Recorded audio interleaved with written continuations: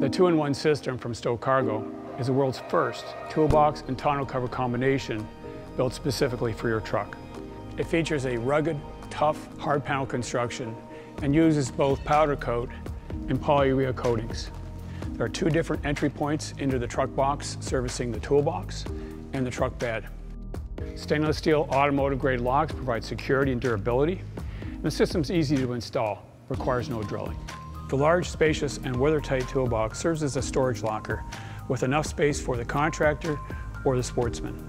It features custom automotive seals for a completely weather-tight space and no condensation, so your gear stays dry. A 400-pound load capacity and a tough composite construction for unsurpassed durability. It's deep enough to hold a five-gallon pail and has a lower entry point for loading and unloading your gear, and has drain holes for use as a cooler. The underside of the toolbox rises off the bed floor to provide full use of the length and width of the truck box. The rear panel of the Stowe cargo system is built for access, security, and durability. The unique rear hinge and strut design enables access to the truck box from all three sides without folding, rolling, or flipping the cover, and also does not require a mid-span linkage.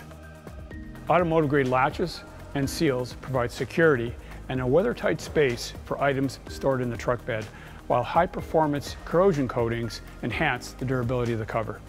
For transporting taller items, the rear cover can easily be removed, and the tailgate can be opened without opening the rear cover.